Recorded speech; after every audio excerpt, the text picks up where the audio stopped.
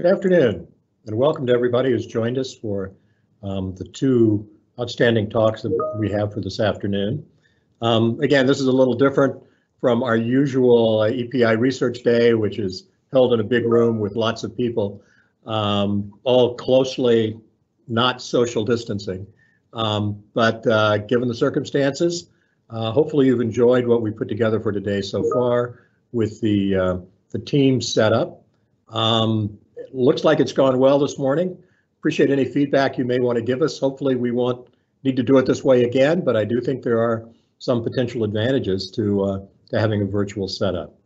Um, I would note that for the talks this afternoon, uh, if you have questions, you can go ahead and type them in at any time. And what I'll do is select some questions uh, to show up on the, you know, published area. And people who like those questions, if you could indicate you like them, and then we'll, we'll that'll help prioritize the questions we'll ask at the end of the talks. Uh, we'll see how our time goes. Hopefully, if there is time after each talk, we will ask uh, at least a few questions. So again, welcome. Thanks for being here. I would note that we've got, uh, I believe at last count, some 330 or some odd individuals who are registered for the meeting. Um, so um, there are a lot of people who've been involved. And again, uh, welcome and glad you're here. So our first talk uh, is by Dr. Andrew Dobson. Uh, Andy Dobson is an ecologist whose research focuses on the role that pathogens and diseases play in natural ecosystems. He uses a mixture of fieldwork, mathematical models, and data analysis. He's worked on conservation and disease issues in, uh, the, in the Serengeti, Tanzania, and Yellowstone for the past 30 years. He also works on emerging pathogens and the ecological and economic conditions that lead to these outbreaks. He has long-term interests in the evolution of social systems in primates, elephants, and carnivores, and how this impacts the population dynamics of their interactions with parasites and human ex uh, exploitation. He, uh, been on the faculty at Princeton since 1990 and the Department of Ecology and Evolutionary Biology. And um, he is also external faculty at the Santa Fe Institute, where he works on problems and complexity. Uh, it is with great pleasure that uh, we welcome Dr. Dr. Dobson. Thank you. It's a great honor to have been invited. It's a great pleasure and a tragedy uh, not to be there in person, but I, I, will try and be as much as myself as possible uh, at a distance, so as to speak. Uh, I'm just going to put my slides up uh, which I think I just about have the technical ability to do after all my training. Yep, here we go. Okay, you should now be able to see a slide that says preventing the next pandemic, ecology, economics, and evolution, which is the title of my talk. And it's going to be roughly divided into three sections corresponding to those three E's. Initially, I'll talk about what are the mechanisms that lead to new pathogens emerging? And, and then focus in on, on two of those three mechanisms. I'll then cover some of the economic costs of things we could do to prevent emerging diseases occurring, such as we're seeing today with COVID, and compare those costs with the costs of the first six months or so of COVID. So up until, if you like, the end of June, July last year, with one extrapolation to the beginning of this year. Finally, I'll talk about a sort of question that, that's increasingly worrying me about what do we know about the evolution of emerging pathogens. Uh, and there's only one or two systems where we've looked at the evolution of emerging pathogens in any detail because mostly we've been lucky and eradicated them. But there's one that we were not worried about enough to uh, do anything about the control, so we can look and study its evolution and see what's happened naturally to that and hopefully take some slightly disconcerting lessons for COVID from that study. Now, just over a year and two months ago, I think it was around the 30th of November, I was getting 30th of December 2019, I was uh, getting re ready to uh, withstand the chaos of my son's annual New Year's party, uh, getting the house sort of clean, ready for uh, the mess that would happen to it, when I received this sort of disconcerting uh, email from ProMed, and it was about the market, the, the market I just showed you a picture of, suggesting that people who'd been visiting that market in Wuhan, China, were showing some unusual disease syndromes. and a couple of us chatted about it. They're also up late preparing for children's parties the next the next night, and we said, "I don't think this is going to be such a problem. It sounds to me as if it's a lot like SARS, which in many ways we were correct, but SARS had been a relatively easy disease to, control, contain and control. It was a huge economic impact, but we quickly worked out what the problems were. So our initial feeling on that first so 24, 48 hours about COVID was this might be a problem. We should get on top of it. And things were motivated to do that. But if it's like SARS, we'll know what to do. And our principal insight there was the thing with SARS is that transmission only seems to kick off once people start showing symptoms. And because COVID, or this new thing, seemed to be like SARS, we felt that's okay, we'll quickly get a handle on this one. We couldn't, as we now know, have been more wrong. Now, it was a wonderful or horrendous example of what is essentially a biannual or twice a year event, the emergence of new viral pathogens. And this is a graph that my friend Mark Woolhouse at the University of Edinburgh has been putting together and adding to each year. It's the rate at which new virus species are reported from humans. And you'll notice the early years, the 1920s, we didn't really have a good idea of what a virus was. It was just something that causes diseases that could pass through a filter. Increasingly, we had the ability to identify things as viruses mainly RNA viruses, but also DNA viruses. Once the technology settled down, we were roughly seeing two new viruses recorded from humans every year. You know, Mark first published this grant back at the beginning of the century, so knowing that we get new viruses should not be a surprise to them. We could put some of the superstar new viruses on this graph, here I've put on HIV-1, which had caused a global pandemic right at the beginning of my academic career. I've put on SARS, Zika virus, which was first recorded back in the 1960s, but didn't cause a major pandemic uh, uh, uh, until about three years ago, 2017, and of course, COVID. So to a rough approximation, we get two new viruses every year. Just about every four to six years, we get one that starts a pandemic or an epidemic that with luck we manage to control. But no surprises, you essentially get a new disease that's going to cause major problems roughly the same rate as you get a new president in the United States, a new prime minister in, in Europe, or a new president in any other of the world's countries. They're not unusual, they're scarily regular. And the bottom line of what I'm going to say is really we should be much prepared better prepared to deal with this because we've seen how huge the economic cost of not being prepared is and what the cost of mismanaging these things is. Now, round about 2008, a group of us were lucky enough to have some very bright postdocs, and we said, let's do a review of the early stages of new pathogens crossing over. And this paper was headed up by, by Jamie Lloyd Smith. It, it was good for all of the postdocs because they've all ended up with very good faculty jobs. They've all now got tenure. But essentially, we could divide the different stages into things transmitting in the wild and not crossing over, occasional spillover events, which we, we usually don't detect very well because we tend to think it's something else that people have got, often malaria, often flu. So we don't really catch it people are isolated and it tends to die out. And occasionally we get things that start starting, starting trickling chains of transmission, either in humans or, or in domestic livestock, which then spills over into humans. If we looked at that time at where the papers were being published, there are a lot of sort of natural history, Journal of Wildlife Disease type background papers of people looking at pathogens in wildlife.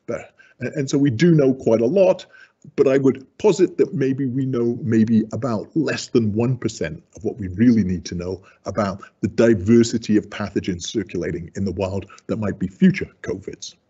There are uh, a, a couple of handfuls of papers on cross-species spillover, There are even less papers on limited human to human transmission of rare things we haven't seen before that then go extinct. And then, as I say, papers on pathogen evolution, which were uh, very rare indeed, rare as unicorns almost, because you know if these things go extinct, we're not going to see evolution in the first two or three cases of transmission. Still, it suggested there was lots more to be done. More recently, over last summer, we, we, we published some paper on the economics, and we're now following up with a paper that's under interminably long review wonderful uh, testimony to the, the speed and efficiency with which the scientific process works, But it now splits this uh, spillover in, into six different stages from pre-emergence, which is circulating in the wild, the actual process of pathogen spillover and, and how we can focus that on more detail, emergence and the use of syndromic surveillance to look at things, localized transmission, beginning to spread to global spread. And what the point of this talk is, is to focus in on some of these areas to then allow us to do some costing of how much it costs to stop these things early on versus the costs of doing things at a later stage when we're right over on the right hand side. So let's kick off by talking about the ecology of emerging pathogens. There, the two major ecological causes are agricultural intensification, particularly tropical deforestation, which leads to habitat fragmentation. And the people working in those fragments get exposed to things they haven't been exposed to before. They get sick and start uh, transmitting. Secondly, is, the role of the wildlife trade. And what's increasingly we think COVID is tied in with this, uh, but it may also be that SARS originally was as well. Now, if we look at patterns of global uh, uh, uh global emergence.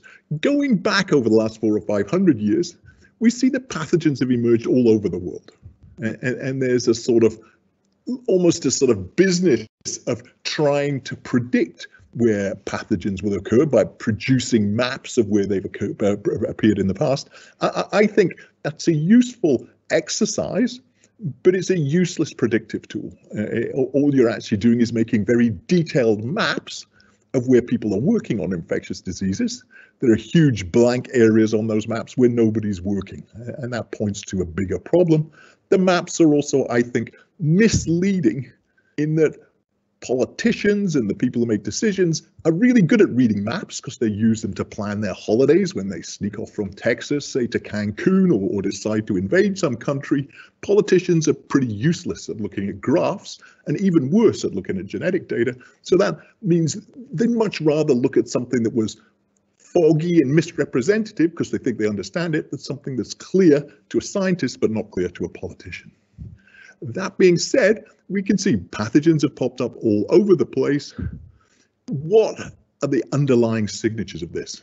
Well, one of the interesting underlying signatures, okay, is that, hey, these can steal the political agenda from some people and pretending there aren't such things as emerging pathogens is one of the things that's got us into this really bad situation we're in today. If you look back a year, and see the sort of things that the White House was saying about denying even the existence of this pathogen, that added hugely to the more than half a million people who have died in the last 12 months because of this pathogen.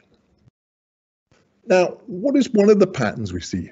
Well, a really intriguing pattern is lots of these pathogens appear to be associated with bats as a reservoir host. If we look at Ebola, the finger points very strongly to different bat species being the reservoir hosts of, of, Ebola and people being exposed to those bats or kids hiding in hollowed out trees where bats are pooping or peeing is exposing those kids to those viruses. We see similar things. We know if we go all the way back, that the bats are the likely reservoir of rabies. Uh, MERS in the Middle East probably was in a bat before it got in, in, into camels. Uh, the two of the scariest things, the Nipah virus and Hendra virus, which I'll talk about in a, in a minute, both have fruit bats as their reservoirs. And SARS, we know, and COVID both have bats as their reservoir species. Now, here is a wonderful bat. This is a pteropid fruit bat. It's a Megachiropterum, what, what, one of the, the big the, the family of the big diurnal bats that spend their time uh, very socially living together in, big roosts and feeding predominantly on fruit in fruit trees. If we look at the range of the pteropid bats, they're circled in green here. It's essentially much of the Far East, right down through India and across to Madagascar and some of the Indian Ocean islands. There are a sister genera of bats, the Eidolon bats, that are in Africa, and the one place they really overlap are Madagascar and a little bit in India. But we know these are the reservoir hosts to some pretty nasty viruses. And we had the interesting emergence of two of those in the 1990s. This is a really interesting place. This is ground zero, if you like, for Nipah virus, a, a, a respiratory transmitted pathogen that's endemic in fruit bats in the Malaysian peninsula. The, the village of Ipoh is about halfway down that peninsula. This is the pig farm where the first recorded outbreak of that pathogen occurred. You see they put cutting edge uh, preventative measures in place. There's, there's a sign that's almost spelt correctly, but what they did was to go in and totally destroy the pig barn, killing all the pigs in there. And as I'll show you, eventually killing all the pigs in on the Malaysian peninsula to prevent this disease spilling over into humans. Two people here. This is Dr. K.W. Chang, who was the physician who first identified uh, the presence of Nipah when the farm workers on this particular pig farm started coming down with a weird disease syndrome. In the background, you'll see a curious person. This is Peter Daszak, who appears again here. Uh, Peter heads up the Eco Health Alliance. Peter and I had a grant in, in 2000 to spend five years looking at Nipah virus and Hendra virus, working with a fantastic group of people to see what could we learn about emergence of these pathogens in Malaysia uh, and Australia.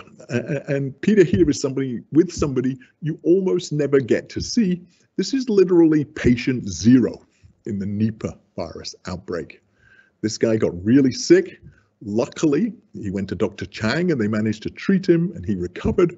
But he also infected several members of his family and several of the other co-workers at the pig farm also got infected. The mortality rate is about 45 to 55%. So Nipah virus is a really scary virus. With Jonathan Epstein, who at that time was, was a graduate student working for the EcoHealth Alliance, we went and misnetted and surveyed lots of pteropid bats all around the Malaysian peninsula, taking blood samples and looking at the serology, how many of these bats had been exposed to Nipah virus. The black in the circles tells you what the level of infection is. Pretty much more than half of the bats in the area have been exposed to Nipah virus. Now, the interesting thing about these viruses is they have almost no pathology in the bats. And that's one of the disconcerting things. Something causes the pathology of these viruses to change once they move from being in a bat to being in a pig or a human. And that's probably something to do with the host that the virus is expressing itself in, because the virus itself genetically has not changed from when it's in a bat, from when it's in a human or a pig. How does it get there? Well, this is the transmission route. This is a bat eating a mango. And the more astute amongst you will realize that that bat can't eat all of that mango. The way it eats it is just to bite the pith off suck all the nice uh, sucroses and fruity juices out of it, and then drop the, the, the, the, pit down below wherever it happens to be eating it. And that was the problem in Ipoh, because when the pig industry started in the Malaysian peninsula, mango trees, most of the pig barns were built under uh, already present mango trees, or mango trees were planted to provide shelter for the pig barns and they provided great shelter from the really hot Malaysian sun, but they also provided a fruit source for the bats, whilst at the same time the forest is being destroyed to make palm oil uh, plantations. So there was less and less places for the bats to go, and the places the bats went were literally the trees, the branches of the trees above the pig barns. They eat the mangoes, they don't eat them properly, they just chew on them, spit them out, they drop down, and the pigs eat them, well, hey, you have set off transmission. So this was a study beautifully worked out by one of the graduate students on the project, Juliet Pulliam, who, who, who worked with me at Princeton and, and I think graced your institute in, in Florida for four or five years after she finished. She is now in South Africa and is very much at the center of the COVID control operations within South Africa. And what Juliet found was really interesting. A, there's a very strong mapping of mango density onto pig density. Agricultural intensification of two different crops forced together and mixing species together which wouldn't normally mix. If you look at these industries taking off, the, the dashed line is mango production, the solid line is pig production. Once NEPA takes off, all a huge number of pigs are destroyed. Both industries essentially collapse.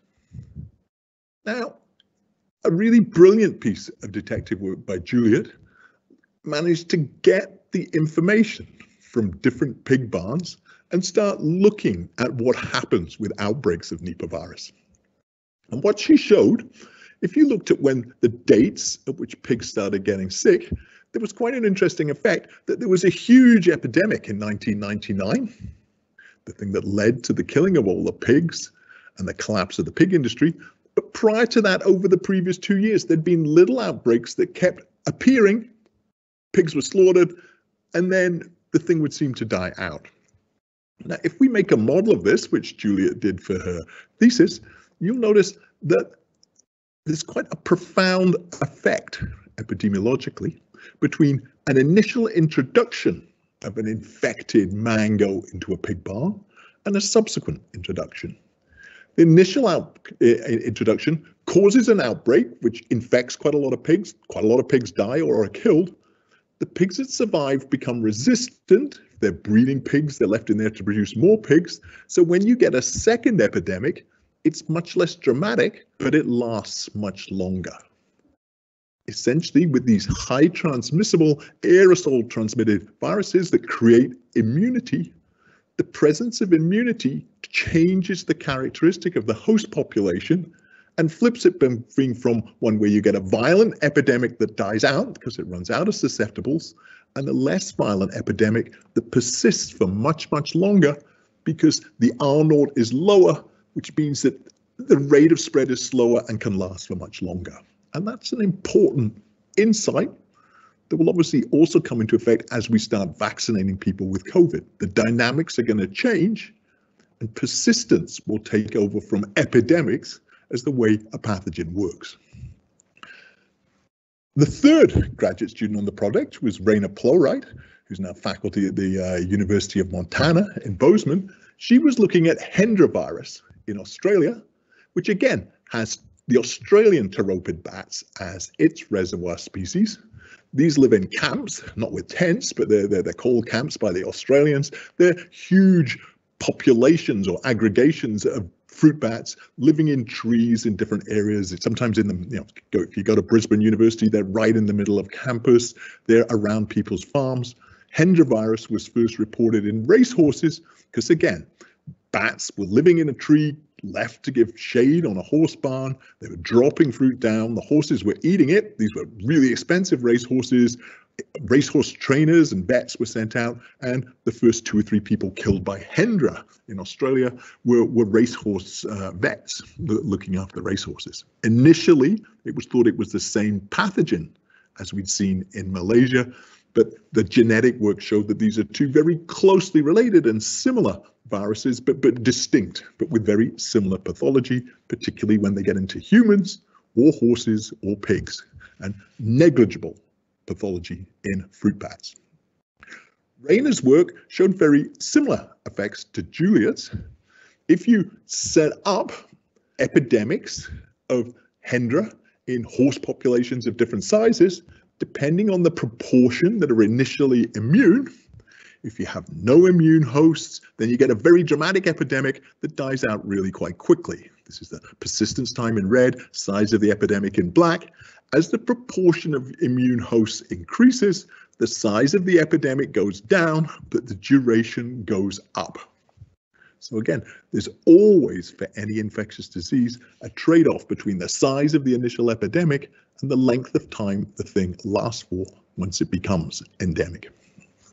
And Juliet did a fantastic paper on that. A wonderful example. If you want to keep something secret, publish it. But essentially, you can show if you compare the relate the relationship between the ratio of duration of infection is to duration of immunity on the x-axis, so the longer you're infectious relative to immunity, versus R naught. There's a region where a second infection into a population will persist and regions where it won't.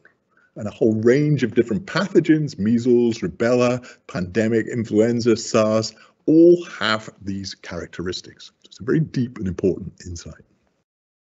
Now let's look at the other mechanism, uh, tropical deforestation. Well, another aspect of this, tropical deforestation. This is Rondonia in Brazil. And hopefully this graphic will work. It worked yesterday. Yep, it should do. Okay, this is around the time I started my academic career, 1983. Rondonia was continuous forest. Over the next 25 years, roads are put in, forest is put chopped down, people move in, and slowly what was originally continuous forest is chopped into lots of fragments of different sizes with uh, on the periphery huge amounts of soy agriculture and small farms throughout the middle of it. Whoops.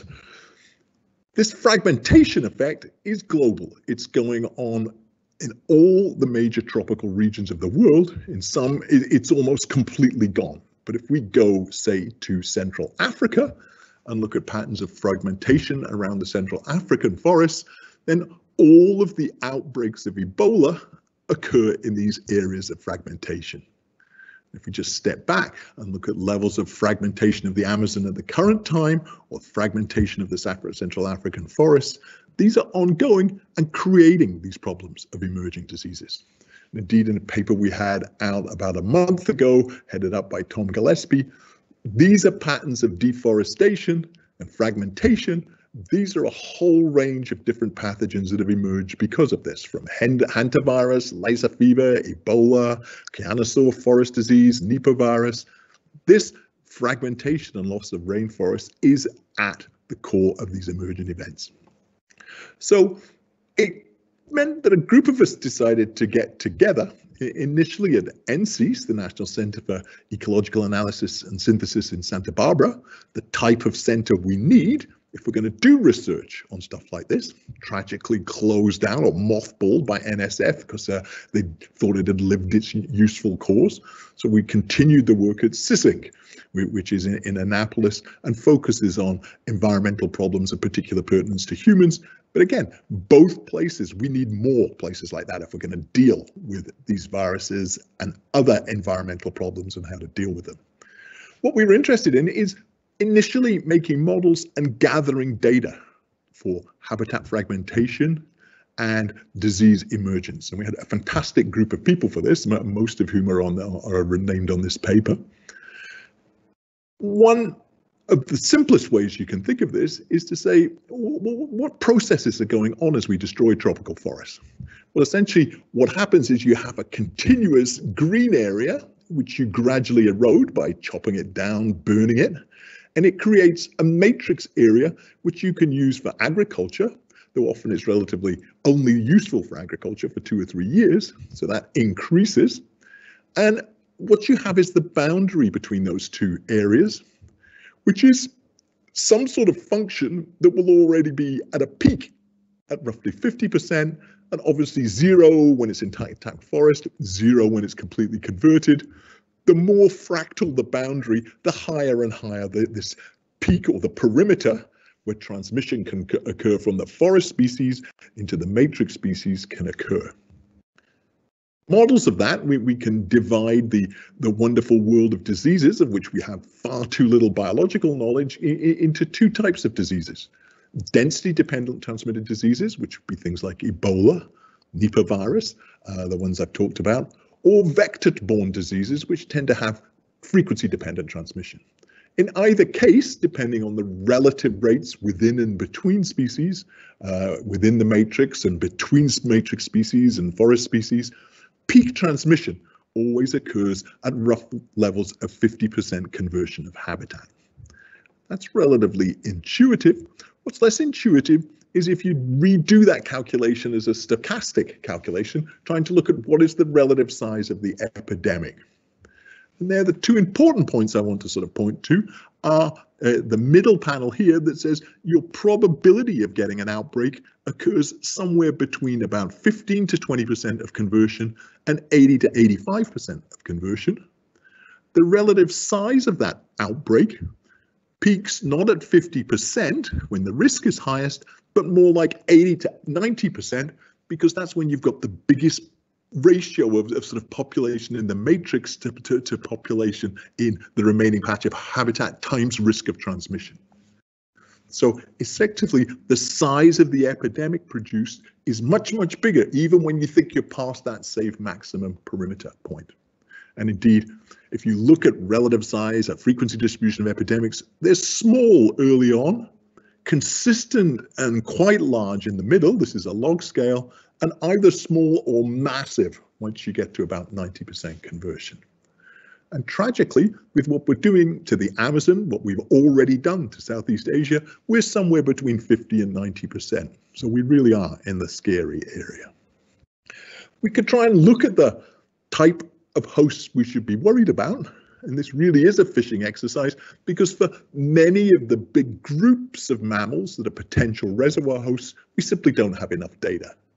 Our biggest worry is bats, and the global diversity of bats is highest in Brazil. We haven't seen an emergence of anything from bats into South America yet, uh, uh, other than rabies, which occurs quite regularly. But we have seen that consistently throughout Africa and Southeast America. Again, this illustrates stuff we need to do and helps make this point that the maps are not very useful from a predictive sense. We need to do science in a different way of which to understand more about disease emergence rather than just making maps. Now, what about the wildlife trade? Anyone who's been to Southeast Asia and, and, and taken their uh, courage and gone to some of these wildlife uh, wet markets, they're pretty scary places with all sorts of weird things for sale. Uh, much of which just goes to luxury restaurants for people to eat at bachelor or bachelorette parties or at weddings. So it's not food that's feeding people who are hungry and desperately need food. In fact, we want to divide it, when we think about it, the wildlife trade, into two areas. There's the international wildlife trade, which is very, very much luxury trade that you know, the world could easily live without, and local trade, which often, because of other decisions, is the only thing people have available to them to eat. And so solving these two different aspects of the wildlife trade are two very different problems. If we look at the international trade, these are data collected by CITES, the Convention for International Trade in Endangered Species. These are purely just data for Singapore, because Singapore is an interesting illustration of how CITES works. We feel it's a relatively honest country compared to lots of the other countries have signed up to, to, to Singapore.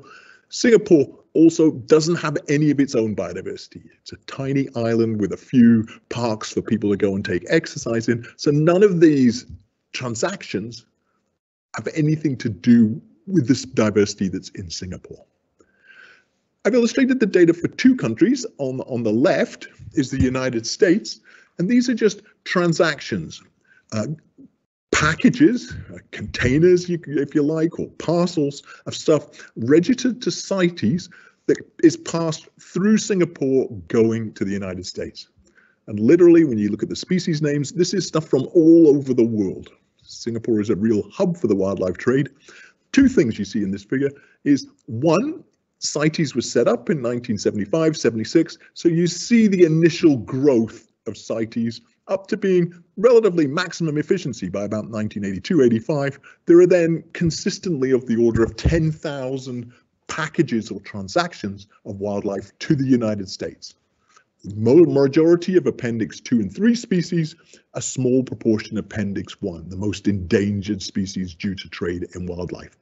The one disconcerting thing about CITES is you start off in Appendix 3 as being registered and slightly concerned and quickly make your way up to Appendix 1.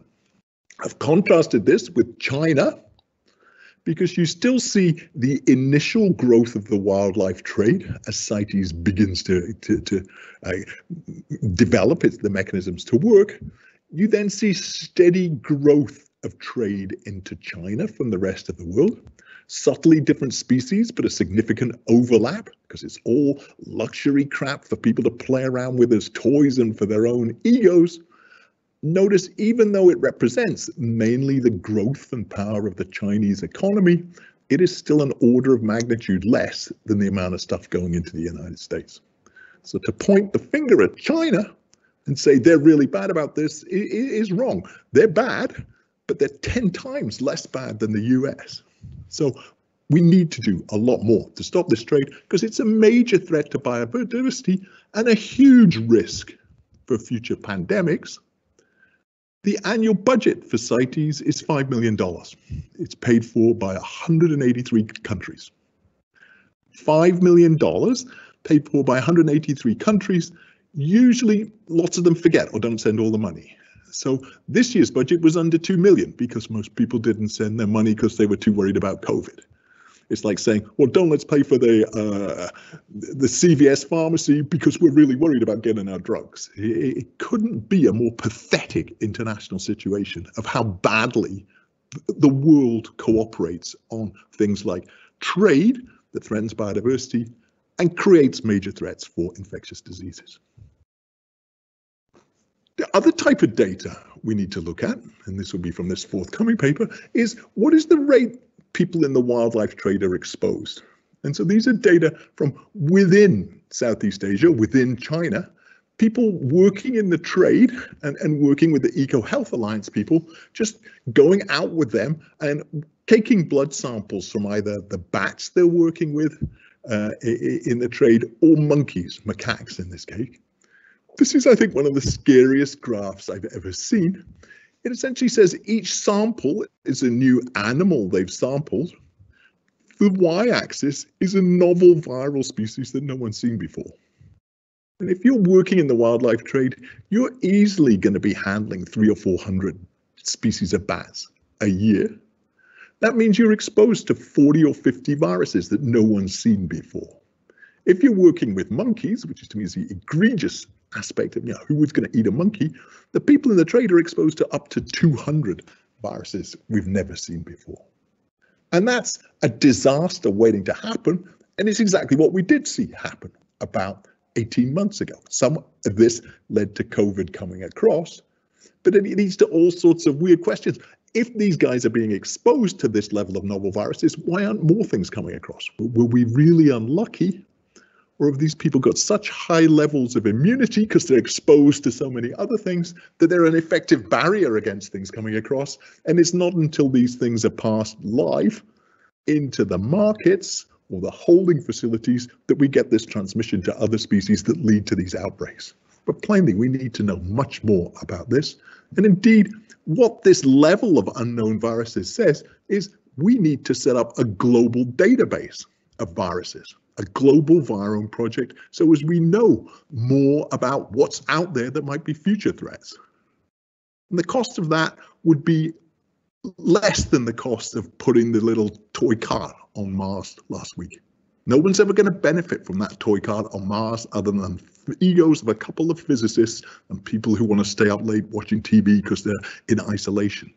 Putting similar amounts of money into understanding global viral diversity, we now know will be a benefit to everybody on the planet. Particularly understanding what goes on in bats and why a bat's different. What causes the immune system of bats to interact with these viruses in different ways than other mammals? And that's something I'm not going to talk about in any detail, but there's a couple of reviews here with a, another fantastic student, Cara Brook, who, who starts in the fall at the University of Chicago as a faculty member, where she's found deeply interesting differences between the way bats immunity works and the other mammal immunity works. So what's the economics of all of this?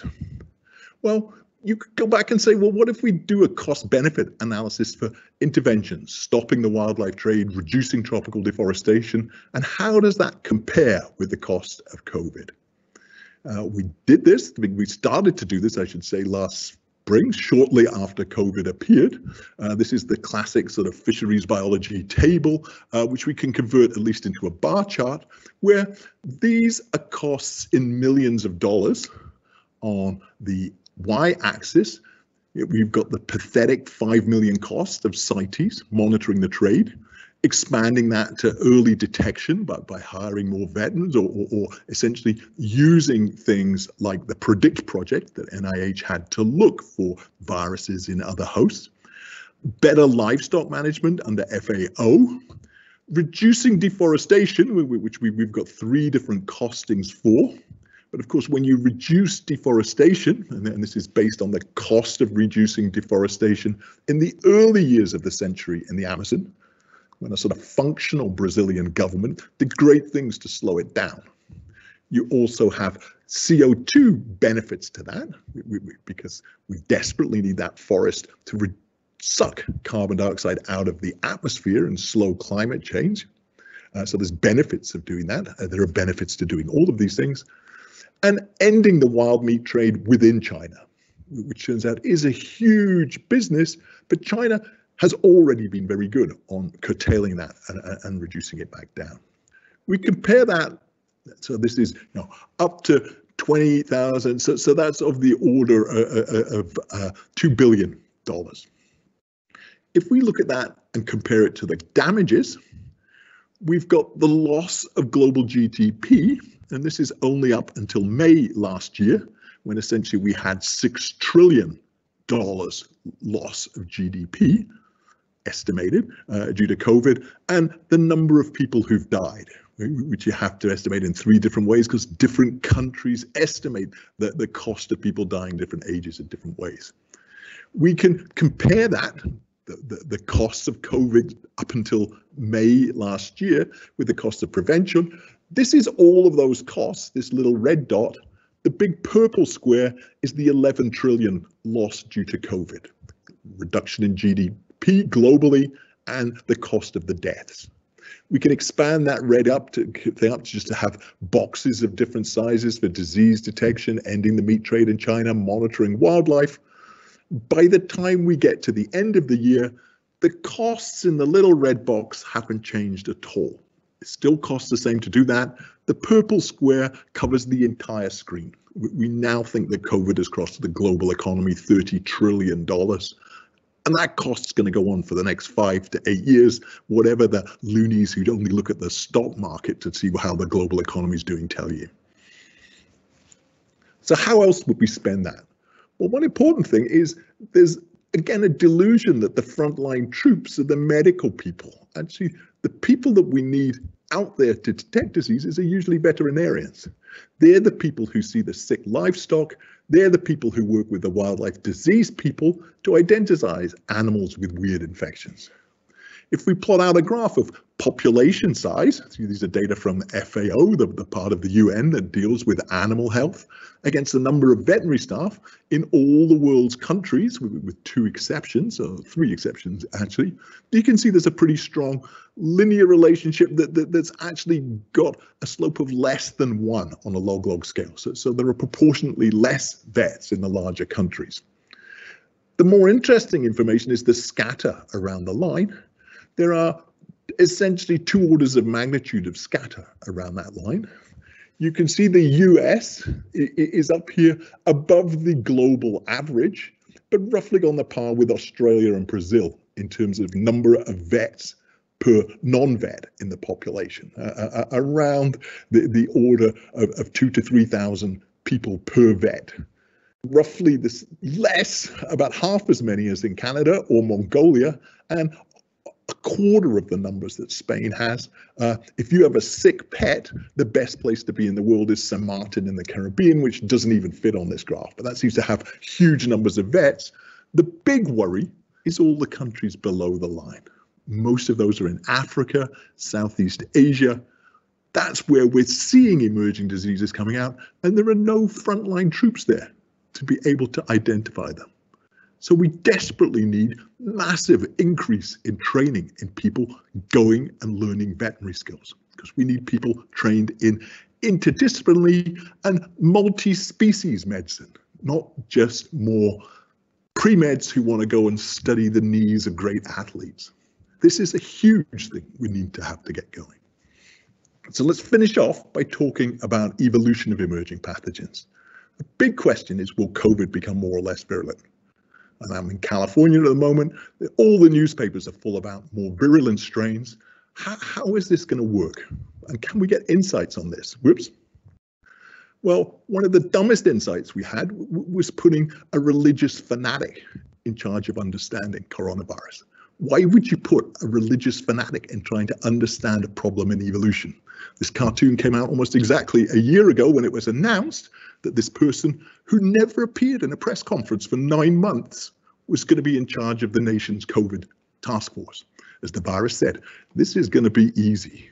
There was nobody there to stop them. The house was empty effectively. What have we seen so far? And uh, uh what we've seen, this would be around September last year, when most of the genetic change in COVID is essentially neutral. We're not seeing variation, we're just seeing mutations that are giving rise to things so as we can map how the pathogen spread around the world. And we can see that in the US, initially, it probably came in from China, but most of the strains that are circulating in the US by April, May, all came in from Europe rather than China.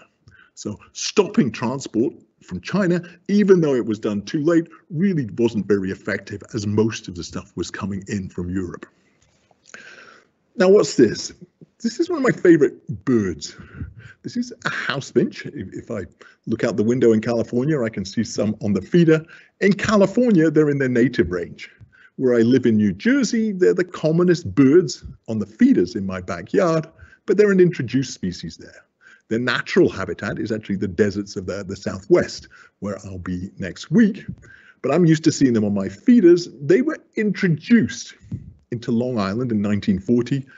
So they're, if you like, an introduced species in the eastern US and a resident species in the western US. Their population took a while to grow, but when it did, it started to expand rapidly in the east. So these are data from the Lab of Ornithology in Cornell. And then 1993, something weird happened. Notice that the numbers suddenly go crashing down. They continue to spread west, but they're much, much less common. Now, this is because an emerging pathogen had jumped from domestic poultry, chickens, into house finches. In chickens, it's a gut parasite uh, that, that slows the rate of growth, so it's treated with antibiotics. That somehow, and the somehow is that if you want to have a backyard, a backyard um, poultry farm, you, you can have up to 30,000 chickens and, and still have them as a sort of domestic hobby herd. So these domestic ones manage to infect the wild house finches. In the wild house finches, it's expressed as a pathogen in the eye. And because nobody cares about house finches, nothing was done to stop it. And because it's a domestic poultry thing, we know lots about its genetics and physiology. So we were able to monitor it and this is just our monitoring network. These are people who are members of the Lab of Ornithology in Cornell who send us reports about whether or not they've seen infected house finches on their bird feeders 25 days out of every month. So this allowed us to plot the spread of this pathogen arriving on the East Coast, similar to much of COVID in the, in the US. He is spreading with laminar flow with small seasonal fluctuations right across the US eastern range and eventually getting across to Western California. It's a good species to work on because it's a pest in wineries. Uh, originally, this wasn't so exciting because it was a pest in wineries in upstate New York, where the wine has found a, a new uh, bonus for itself as hand sanitizer. But once it got to California, it was really quite good news for us because we could be given really good wine to collect house finches from people. It's done something that you really don't want an emerging disease to do. These are counts of house finches coming to people's bird feeders in Virginia, Maryland, and the bottom, Pennsylvania, New York. The presence of this pathogen, since it emerged, reduced house finches by about 60%.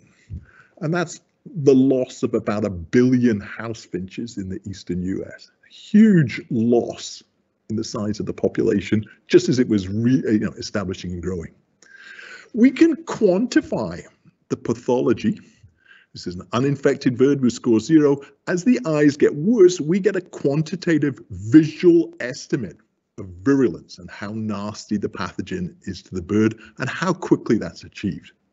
Now, some of you will be wondering why I'm talking about this. I'm talking about it because it's got very similar pathology to COVID. The ability of the pathogen to transmit, which we can quantify by putting uh, calibrated filtered pea papers against the eye of the finch and quantifying the number of bacteria in them, putting the infected birds in cages with uninfected birds. Transmission occurs for two or three days, up to two weeks, before symptoms appear. Once symptoms appear, the ability to transmit goes down and down and down, and eventually the bird, if it's lucky, because we're mainly keeping them away from predators, which would eat them with their brine, and giving them food, which they couldn't find if they were in the wild. If the bird survives, it's immune for of the order of about a year, which again, I suspect is going to be similar to COVID. Now that's interesting because a very important paper came out nearly 20 years ago by Christophe Fraser, uh, Neil Ferguson and Roy Anderson said, if we, Roy Anderson, if we look at pathogens, our ability to control them is a function of R naught, their transmission rate, and the proportion of time infections occur prior to symptoms or by asymptomatic infection. And so the things over to the left, SARS and smallpox, have big R naughts, but we could control them relatively easily because the majority of transmission doesn't occur until symptoms appear. In confluence, in contrast, influenza and HIV were really, really hard to control because transmission is occurring before symptoms occur. In HIV, up to 10 years before symptoms occur. Where is COVID? Well, we think R naught is somewhere between three, maybe growing up to four, and a lot of transmission is occurring before symptoms appear. So we could look at that in the house finches because we've been able to monitor both the genetic structure of the pathogen as it spreads and to look at its virulence. And there's two key points here. The solid line on the left is the evolution of virulence in the eastern US as the pathogen becomes endemic.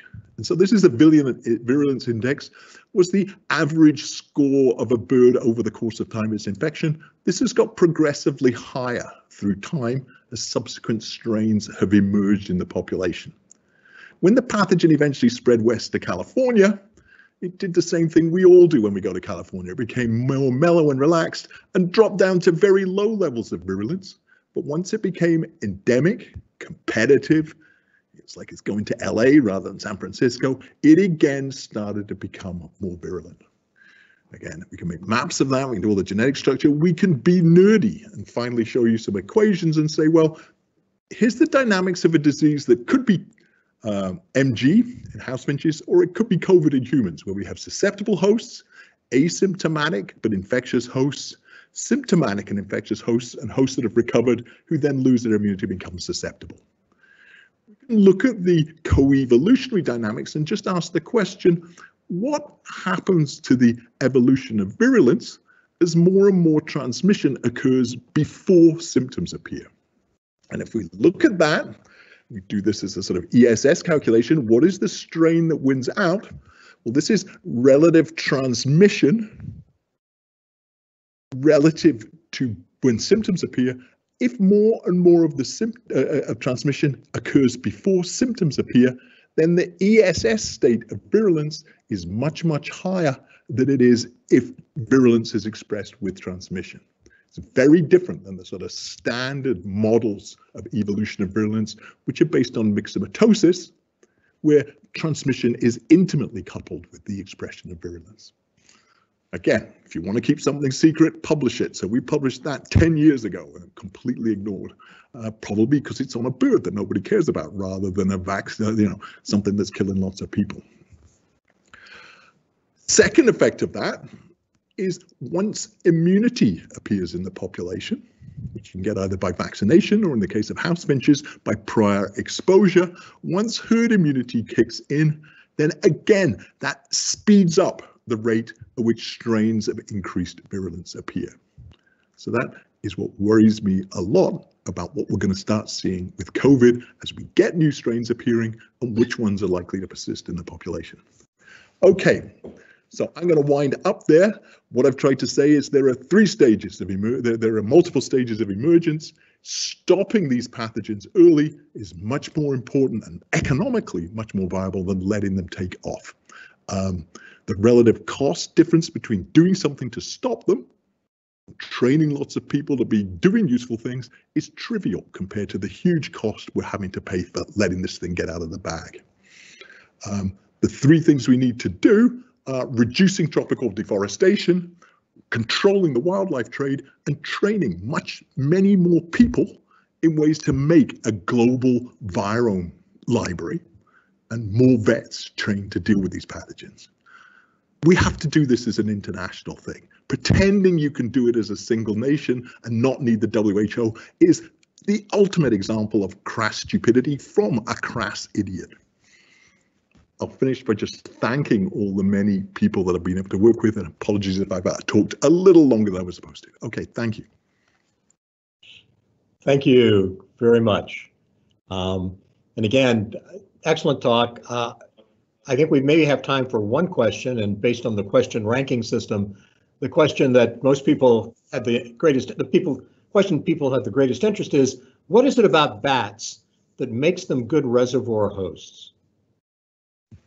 Yeah, I mean that that is the sort of sixty-four thousand dollar question. Key thing about bats is that bats have uh, no genes for an inflammation response. And we know that huge amounts of pathology in humans is tied in with this inflammation response. Uh, the majority of people who are dying are getting really excessive inflammation responses. So we think that's part of it. Uh, with, with Cara Brook uh, uh and a bunch of others, we've been doing cell culture experiments introducing uh, different types of viruses, Ebola, uh, SARS, into both bat tissue in the lab, and there are very few labs where you can do cell culture work on, on, on bats, but also into primates and other mammals.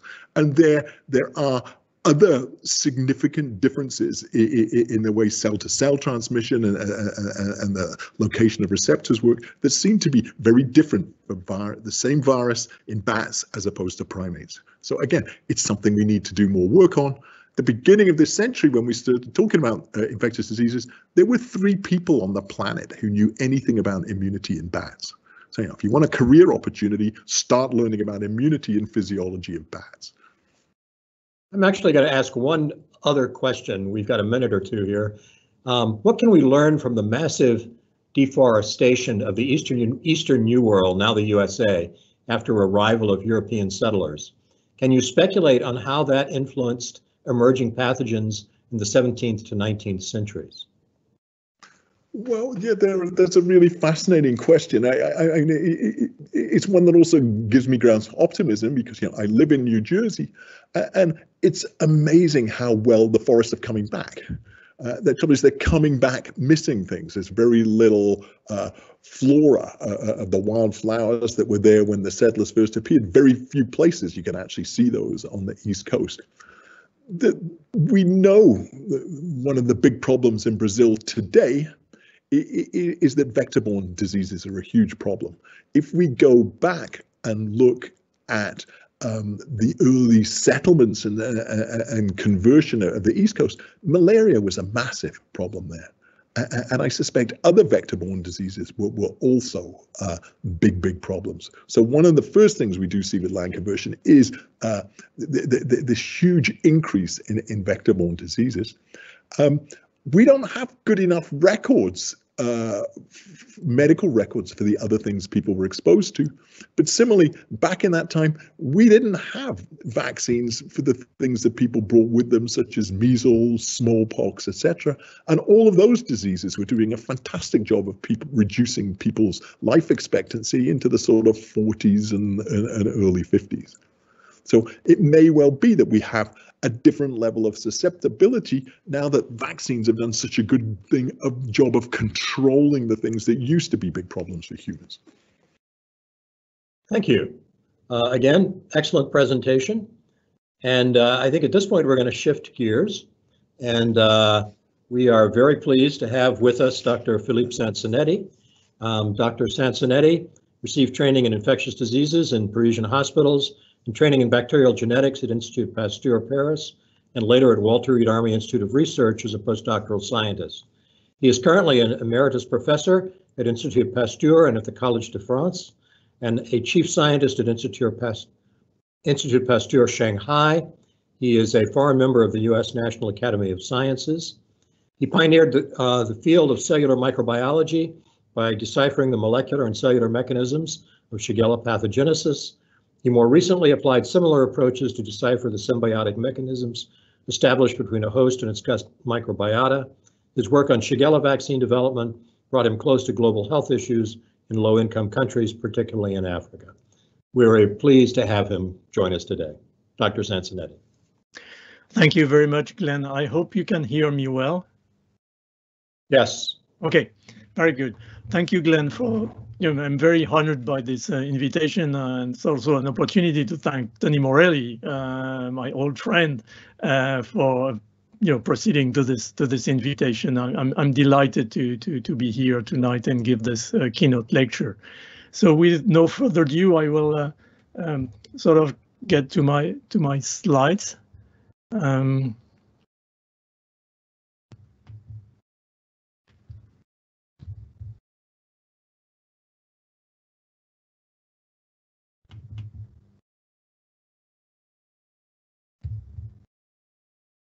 I hope you can do this well.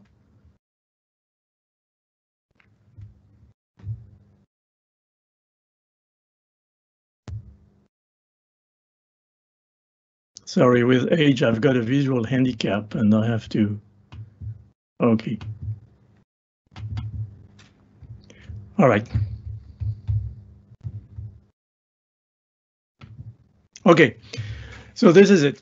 Uh, so what I would like to talk to you about tonight is, is actually some sort of maybe not so new, but actually a new angle looking at the interaction between uh, host and, and, and, and, and microbes. Uh, I think we've been living for decades now with the, a view on, on infection, which is essentially based upon uh, looking at one pathogens interacting with uh, one host. Uh, this is the classical view of infectious diseases that we inherited from the Pasteur and Robert Koch uh, time. Uh, but things are getting more and more complicated, and I must say that our interaction with the microbial world is, is getting complex, and, and this is basically uh, the, the, the reason for my, my title, which is Microbes Without Borders, uh, tension on uh, the 20th uh, century public health paradigm. Uh, I would like to go through a certain number of, of, of elements which, again, put some tension on the on this beautiful public health paradigm that was uh, you know sort of established. Yes. Your your PowerPoint, we're seeing the edit view. So if you could cancel your share in Teams, so switch back over to the Teams window, cancel the screen share that you have right now, and then reshare, selecting the slideshow. Uh, okay. Sorry, I'm so you you don't see my slides? Uh, we see the PowerPoint application as if you were editing the slides, not the presentation window. So you should have two different windows to choose from when you do your share. Oh, that's going to be a difficult task. Uh, I think we're probably okay. Philippe, why don't you go ahead? Okay, well, thank you because it's getting complicated for me. Sorry. Uh, okay, so uh, let's let's you know sort of sort of. Uh, I had a dream like uh, you know what if uh, the the founding fathers of microbiology, immunology, and and, and infectiology came back today, and and this is sort of my gallery of of hero of the end of the 19th century, beginning of the 20th century they, they, they, they did it all in, in, in, in brief. There might be other names, but, but these are really mine personal gallery. So uh, I, I, think they, they would they would probably uh, observed the extraordinary impact of their discoveries on, on the well-being of the of the society, global hygiene, vaccine development, antibiotics, uh, the phenomenal development of academic and uh, industry research. Uh, and this is what I call the public health paradigm of 20th century. Uh, they would be struck by, you know, something that you know, which is the amazing acceleration of, of what I used to call the scientific discovery time. Uh, it, it's the time between uh, recognition of a new disease and, and development of tools uh, for its control. And I, I, just because there is, of course, an, some you know close elements uh, with the COVID uh, pandemic. Uh, go back to, to Spanish flu, 1918, 1919 it's it's interesting and, and very emotional to read this uh, sentence uh, by uh, Major George Soper. He was in the in the U.S. Medical Corps in the the end of the 1918 1919s and and he he wrote the most astonishing thing about uh, the pandemic was the complete mystery which surrounded it nobody seemed to know uh, what the disease was where it came from, and, and how to stop it. Uh, and, and, and this is really what the situation was. And it basically took, uh, you know, many years, like 1933, before Peter Laidlaw and collaborators uh, actually could uh, uh, achieve the transmission of flu uh, from uh, human to ferret and from ferret to ferret and also demonstrate that convalescent ferret were resistant to further challenge by, by the, the, the, the flu pathogenic material, which was sort of introducing the possibility to develop a vaccine. 1935, uh, Wilson Smith and collaborators in the same lab actually uh, cultivated the virus on embryonic eggs uh, they identified it through uh, cytopathogenic effect and seroneutralization, and at the same time, transmission electron microscopy came, and, and they could actually physically uh, view the, the, the, virus. So that was, uh, in a way, the real rediscovery time of, of the flu virus. And, and it took, again, uh, one decade before uh, Jonas Salk uh, in the US could develop the first uh, inactivated flu vaccine uh, for GIs embarking for, for Europe. Uh, and, and that was sort of a reference to flu epidemics in 1918, 1919. And 1970 was the first appearance of antiviral drugs like ribavirin and, and, and, and uh, oseltamivir, which uh, you know basically shows you uh, what was at the beginning of the 20th century. Uh, Dr. The, uh, Cincinnati. discoveries. Yes. Uh, I'm really sorry to interrupt you again. Um, the screen share that we have, you'll need to turn that off in Teams. Um, if you can switch back over between windows on your Mac, if you switch back over to the Teams window, you should be able to cancel the screen share with the. I honestly don't know how I can do this uh, for from what I have on my screen at the moment. What are you seeing right now? I see my my slides on full screen. Okay. Um, when you uh, the is on Windows, you can push the uh, Alt Tab key. I think on Mac it's Command Tab to switch between windows.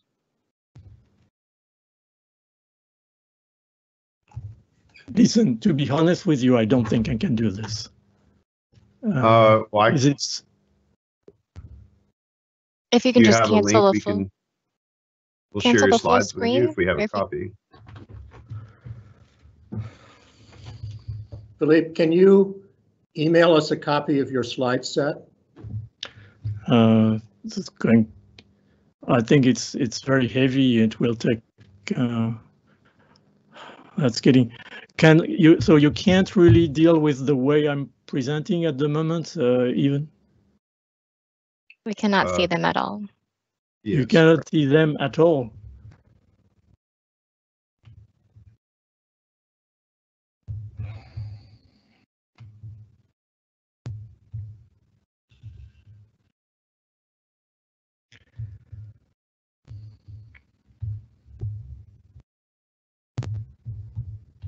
Okay, if you uh, continue to work in that window where we can see your PowerPoint as if you were editing it, I can see that. Okay. Um, but now I cannot once the presentation starts because that actually starts in a completely different window. Okay. So what if we, sorry, It's okay. what what, what if we do this, uh, which I'm Yeah. enhancing it, and uh, can we operate with this only? I, I I would feel more comfortable because otherwise it's going to take a huge amount of time. Yes, I'm attempting to send that live now. Yes, that is okay. All right. Well, thank you. And my my apologies. Um, so, okay. All right. So now, you know, if they today, I mean, as as I said, if they came back today, they would realize, and I'm not going to get into details uh, into this. Uh, you know the the acceleration in this time of of, of discoveries and uh, you know COVID uh, was uh, basically um, uh, identified the SARS-CoV-2 sequences were basically identified by deep sequencing and, and bioinformatics in a few days. And uh, the, the global sequence was then made available to the global community in a few weeks. The uh, diagnostic tools became available uh, in the in the weeks after, and, and the vaccine became available within uh, a year, uh, which is something that is absolutely uh, amazing. But still, uh, they, they would observe some some tension on the system, as I, as I mentioned. And I tried to identify some of these tensions here. Uh, first of all, the population is changing, the aging of the population worldwide. Uh, in France, for instance, the, the life expectancy has increased by two times uh, during the 20th century. It in, continues to, to, to increase at the moment. The issue being that the elderly population is the most susceptible to infectious diseases and the least responsive to vaccines. The diseases also are changing. I mean, the, the, there is, you know, an expanding spectrum of diseases that are taken into account by modern medicine and, and, and treated by sometimes quite aggressive, especially immunosuppressive of cytotoxic uh, therapies, which make patients uh, extremely sensitive to infectious diseases. And, and, and vaccination, in a way, uh, seems to be also reconsidered at the level of this increasing number of uh, immunodepressed patients or, or people. Uh, the microbes changed. There's, of course, the issue of the threat of expanding antibiotic resistance. Uh, this is a global extension at the planet level, and uh, all these superbugs are threatening, uh, especially patients in uh, the case of nosocomial infections. The society is changing. There is a threat of vaccination, which is actually recognized by the WHO, uh, which is the extension of vaccine hesitancy and, and, and the, the, the possible return of preventable childhood infectious diseases and difficulties to implement a vaccine strategy uh, when an emerging pathogen uh, um, occurs, like uh, is the case for COVID. And we still have in Europe a, a, large fragment of the population which is not only hesitant but extremely reluctant or, or, or opposed to, to vaccination the behaviors are changing, and we heard a lot from the brilliant talk of uh, Andy Dobson uh, about the fact that uh, the Anthropocene, in a way, the, the changes and the impact of human behavior on the planet is creating conditions for emerging infections. the, the issue is that in spite of all these sort of new aspects, the, the, there still remain uh, geographic and, and economic inequities uh, uh, persisting, especially in the in the south, in, in Africa, in Southeast Asia. So the, the global pattern has become quite complicated and, and, and, and difficult to, to handle in a way.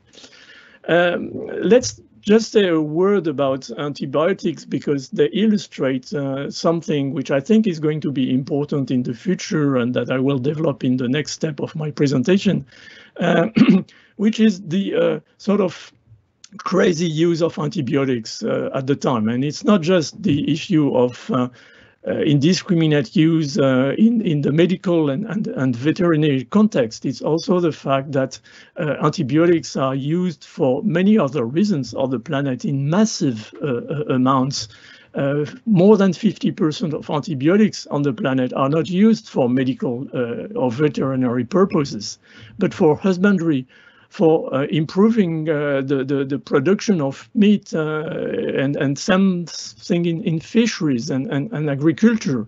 Uh, in, in France, every year, 1,000 tons of, of antibiotics are released in the environment.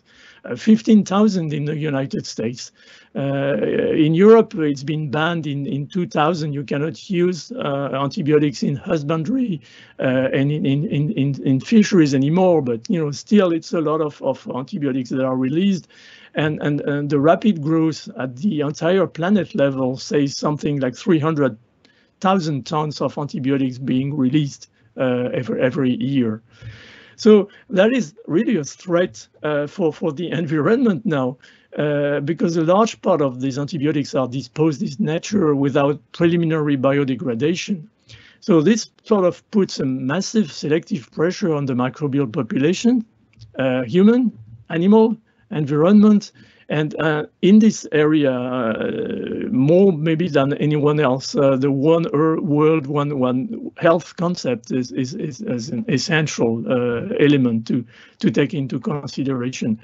So, it, it, as strange as it can be, uh, antibiotics has, in a way, passed from a status of uh, magic bullet to the status of environmental pollutant in some instances, and it is not just impact on uh, the uh, emergence and, and, and um, extension of antibiotic resistance, which of course threatens the antibiotics uh, for the future, but also probably uh, the reduction of microbial diversity. And, and this is really an issue that we have to consider because it might be a, a big issue as much as other uh, reduction in general in the biodiversity on the, on, on the planet.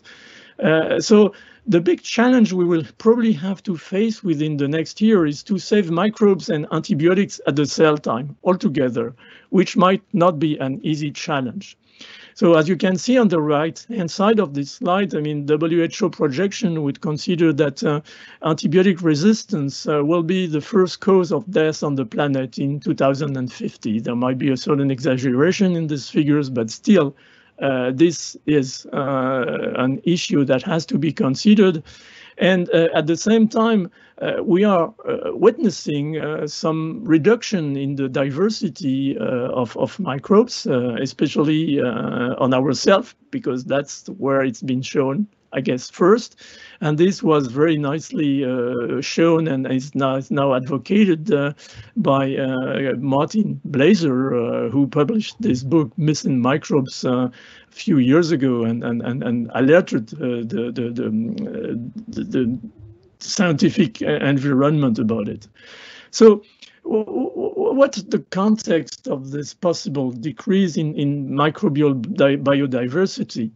Uh, in 2002, in the New England Journal of Medicine, um, uh, uh, French immunologist Jean-François Bach actually showed this uh, very striking two curves or series of curves. One on the left-hand side was showing the decrease of infectious diseases, which is again the paradigm of the 20th century.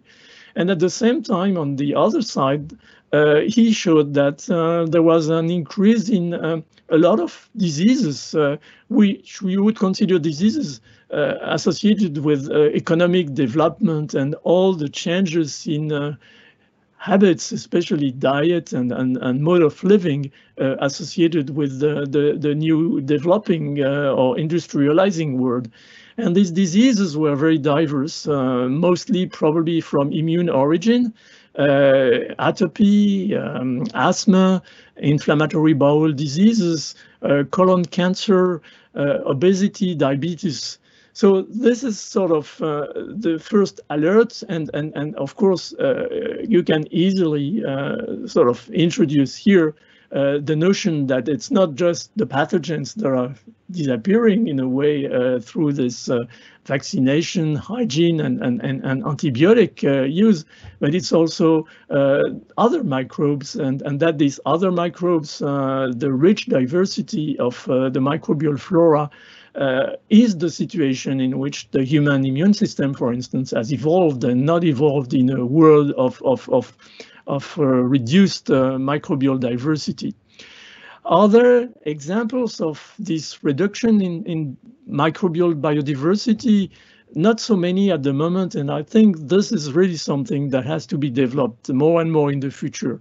On the right-hand side is this very nice Nature paper, uh, 2012, uh, showing basically, to make a long story short, that looking at microbial biodiversity uh, in the intestinal um, fecal material of uh, uh children and adults uh, from the United States, from the Amerindian population of Amazonia, and from Malawi, basically at two extremes showed that in the US, especially in the young children, uh, the microbial biodiversity, uh, the number of species identified by 16S uh, was half that of uh, children in Amerindian populations who had not been exposed to modern way of life. So the question today is basically, uh, is all this uh, in a way not just correlated or associated, but also has a function of causality uh, in uh, causing these diseases that we have been talking about, like autoimmune disease, like uh, atopy, allergy, obesity, diabetes, IBDs, colorectal cancer, and, and, and so on and so forth. So this is in a way uh, the point I am trying to make that uh, our view of human host interactions, uh, uh, of human and, and microbe interaction is, is quite changing. we still have these classical infectious diseases that are present, especially uh, in economic and, and geographic areas that are victims of inequity in access to prevention and care. We see these re-emerging infectious diseases uh, due to vaccine hesitancy, to antimicrobial resistance, to increased invasiveness of medical intervention and, and, and therapies. And uh, we have these newly emerging diseases uh, that are largely markers of the Anthropocene, of the increased imprinting of human on on on the planet, which we consider, you know, and um, and uh, Andy Dobson gave us this uh, uh, description of the conditions in which they they occur. And, and last but not least, and this is where I would like to go, is the steady increase incidence uh, of these postmodern non-communicable epidemics, reflecting in part at least, the imbalance uh, between uh, Homo sapiens and, and its ailing uh, microbiota. So I would just like to start from there uh, and, and, and, and you know, summarized in one slide, uh, 40 years of, of research in Shigella, as Glenn was, was mentioning. Uh, and I would like actually to quote some of the participants to the major steps of, of this research, uh, Tony Morelli, Claude Parceau, Armel Phalippon, Guy Tranvagneux, and many other collaborators.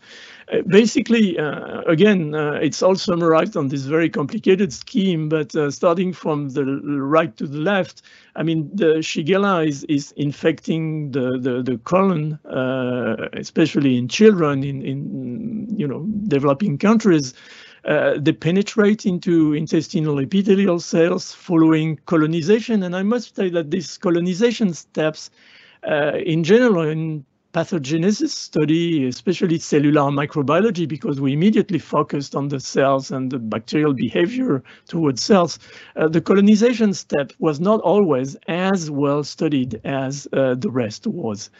But basically Shigella, uh, which uh, expresses this beautiful type 3 secretion system that you can see on the left, is able to manipulate cells, uh, especially initially their cytoskeleton, to penetrate into non-phagocytic cells, uh, to escape into the cytoplasm, uh, to start to start spreading from one cell to another by uh, playing with the actin cytoskeleton. I mean, all this was a beautiful period, uh, which actually, uh, for uh, the time being, caused or, or, led to this concept of, of cellular microbiology. I mean, including looking at the crosstalks between microbes and cells in molecular terms.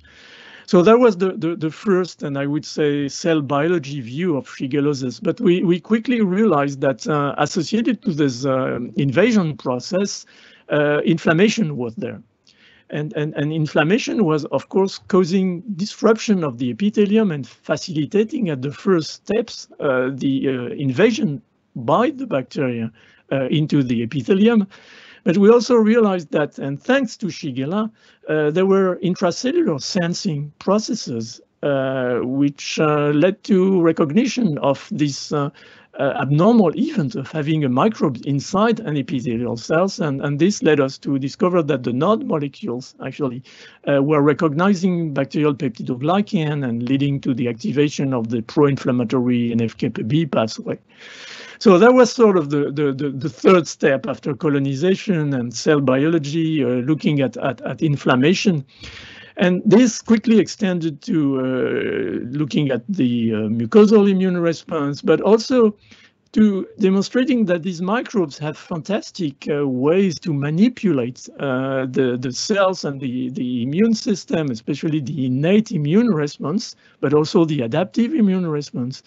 And, and, and these go through, uh, for instance, killing macrophages through apoptosis, or, or, manipulating the release of ATP from epithelial cells, which is very, very strong pro-inflammatory signals, or even changing uh, epigenetic marks uh, in the nuclear nucleus of these infected cells and, and, and basically stably regulating or down regulating the expression of uh, pro-inflammatory molecules.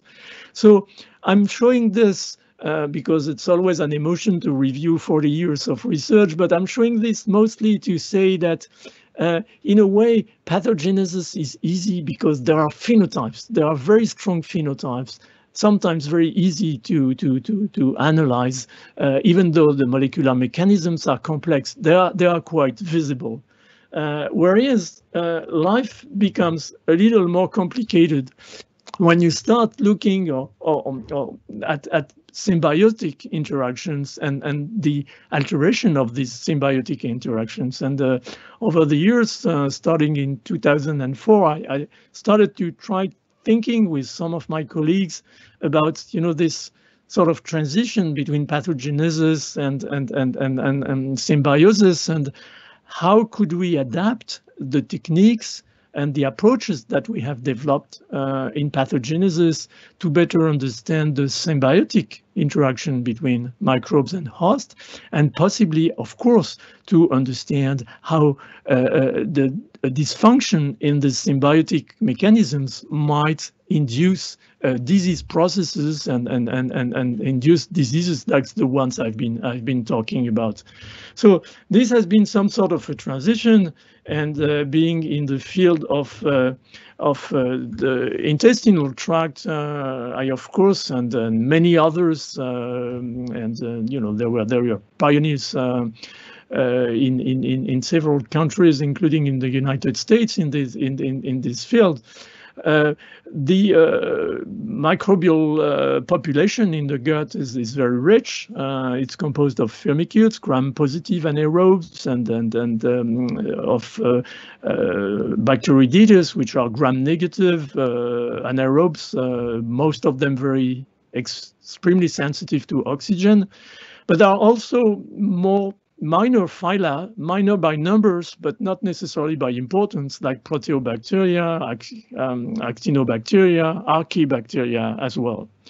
So this is a very complex, but uh, sort of a huge amount of microbes, uh, which uh, altogether uh, have a, a, metabolic activity of about uh, a liver. So it's sort of an extra organ uh, within within us, and you know it's not surprising in a way uh, that they uh, can uh, affect our health when their balance is, is altered.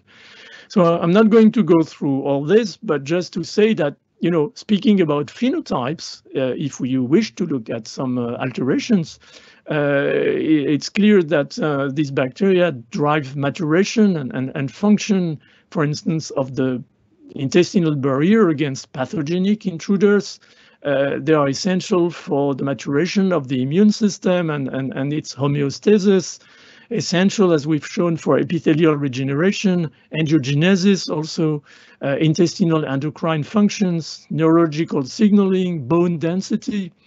They are biosynthetic microorganisms. Some of them produce vitamins, steroids, neurotransmitters, and they also have an intrinsic metabolic activity uh, with the reduction and fermentation of complex sugars causing the production of uh, uh, short-chain fatty acids, which is a, a big source of, of calories for the gut, but for the host uh, in general. They may also process, process uh, drugs.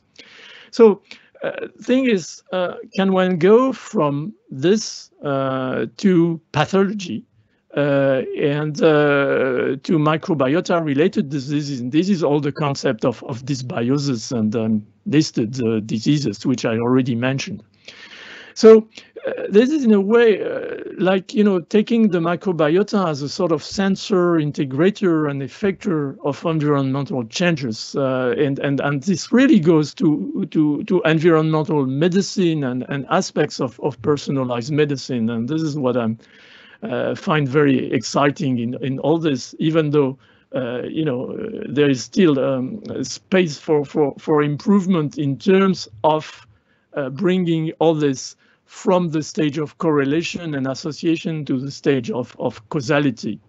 So what is the definition of a dysbiosis? Uh, and I would like to say that uh, it's really going from descriptomics to, to experimentomics. Uh, dysbiosis uh, is in general defined um, with reference to, to the average microbial density and diversity in, in healthy subjects. Uh, so it's often considered as a reduction in taxa diversity, uh, whether it's by classical microbiology or 16S metataxonomics, or reduction uh, of the number and richness of, uh, of, of, genes, if that's done by, by metagenomics. So you would consider that a dysbiosis is basically a loss of beneficial bacteria plus minus an excess of what we now call pathobionts. Uh, these pathobionts are probably developing uh, because of the reduction in the microbiota barrier by the reduction uh, of, of the diversity. Uh, they are non-harming symbionts uh, or may even play a positive role in maturation, homeostasis of some host functions if they are kept under control by a healthy microbiota. But in case of a degradation especially of the biodiversity of this microbiota, they get unleashed and can affect you know, pathology. So this is really an interesting area. It's a gray zone in a way in, in microbiology in terms of host microbe interaction that is essential to study at the moment. It's often complex to confirm a dysbiosis because all these bioses may not be pathogenic. Alternative ecological states in, in, in basic ecology are not implicitly pathogens. There is a high individual uh, and inter-individual variation.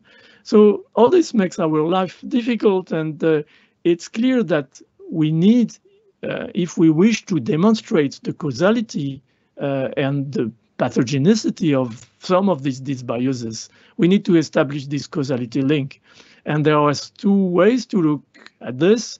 One is at the bench by experimental systems, again, doing cellular microbiology, provided that you establish uh, good uh, readouts, good uh, phenotype to observe, and uh, also you can do fecal transplantation uh, in, in germ-free mice and, and try to observe either development of the disease or, or biological markers of these diseases. And of course, clinical intervention uh, is something that is uh, increasingly uh, considered as, as, as, as, a priority uh, in, in, this area. So in a way, if you wish to put these things in perspective, uh, we, we have to revisit the, the classical Koch postulates. Uh, you all know about the Koch postulates, which are established at the end of the 19th century by Robert Koch and his uh, school, uh, which was basically a, a series of, of, of, of proposals to uh, essentially confirm uh, the pathogenicity of a microorganism, say a staphylococcus or streptococcus or, or, salmonella typhi. I mean, bacteria that were really stars at the time in terms of uh, uh, the perception of the need for, for, for, for research. So basically, the bacterium had to be identified and isolated from the infected host, uh, should be transmitted and cause the same disease in, in an animal model, uh, should be uh, isolated again from this uh, diseased animal uh, as being similar to the first one and, and, and, and so on. So clearly all this uh, is very complicated. if we look at this paradigm switch, from a focus view, one microbe, one host, uh, pathogen conflict, uh, to the interaction of a host with you know, a group of microorganisms and, and, and in a way, a huge group of, of microorganisms. So there was an attempt uh, initially by, by uh, Stanley Falco to, to, to convert them to the molecular Koch postulates, but this had to do essentially with the pathogenesis of, uh, of, of with pathogenic microbe and the, the genes encoding pathogenesis. So we really need to, to build a, a new disciplines uh, which you could go call cellular microecology or, or uh, as we, we, we, we call it, you know, creates the sort of uh, new uh, set of, of, of uh, ecological core postulates uh, if we wish to, to address uh, this issue of dysbiosis being a, a pathogenic entity. So just to say a word about these pathobionts, which are really in this gray zone, uh, I, I, would just like to sort of, it's it's an attempt of characterizing this, these pathobionts and uh, everything can be discussed, of course. Uh, there are epidemic pathobionts like Clostridium difficile, uh, its growth being facilitated by concurrent degradation of the gut microbiota by antibiotics. Uh, it's usually, you know, what was used to be called uh, antibiotic-caused uh, colitis. Uh, others are actually resident pathobionts, like SFB, for instance, which is uh, essential in as, as, as a microorganism's uh, programming uh, some basic function of the innate immune system like the Th17 system we've been working a lot as well as, as other group in in the in the world on this on on these microorganisms uh, balance between Faecalibacterium prausnitzii and Escherichia coli, for instance, Escherichia coli being uh, host uh, in, in the gut and, and, and, you know, becoming possibly pathogenic if uh, microbes like uh, Faecalibacterium prausnitzii are disappearing or, or if there is a, a, a, large deletion in biodiversity of, of, of the microbiota. In, in Crohn's disease, you see a lot of these Escherichia coli covering the surface of the epithelium, so it probably enhances the inflammatory process, whereas in normal conditions, it's maintained uh, in the lumen or close to the mucosa, but doesn't cause any lesions.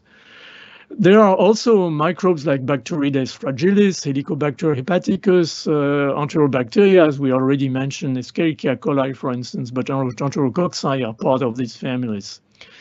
Uh, and there are also ectopic pathobionts, and, and, and this was a bit uh, my idea of, of, of, you know, microbes without border.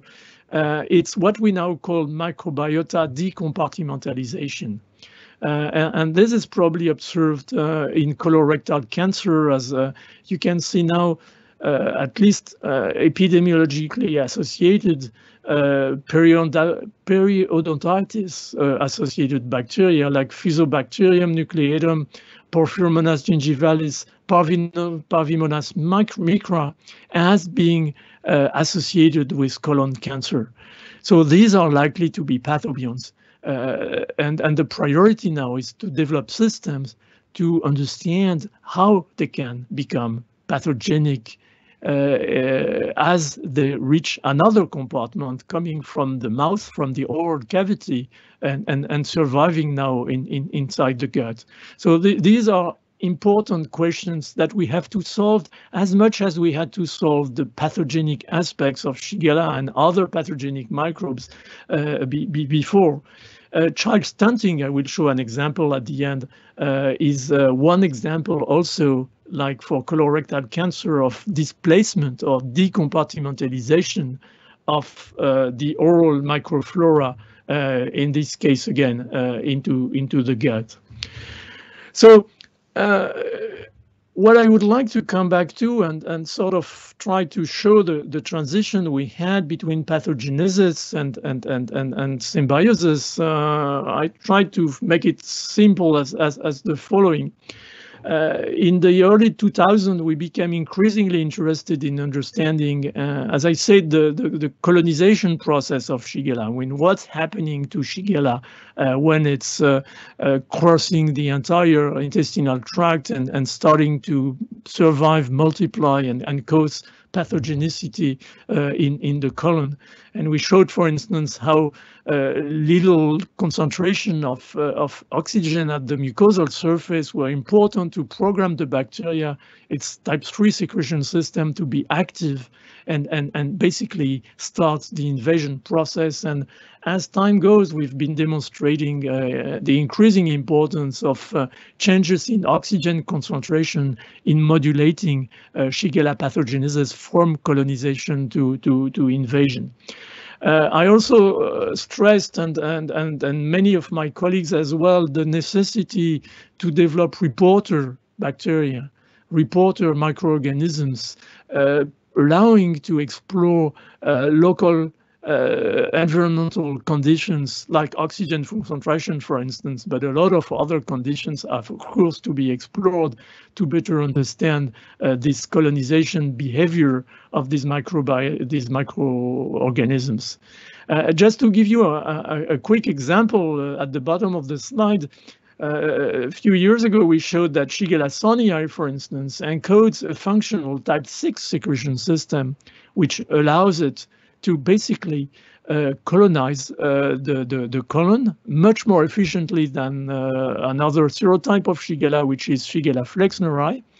And, and this, as we showed, is actually uh, linked to the capacity of these microorganisms not to kill a lot of different species around in the gut, but to basically kill Escherichia coli and, and, and, and the, the, the taxa very close to Escherichia coli.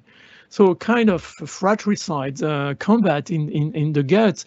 And, and this is really what I call now ecological substitution. In a way, Shigella tends to replace E. coli at the surface of the intestinal mucosa, and from there can actually achieve its pathogenic process.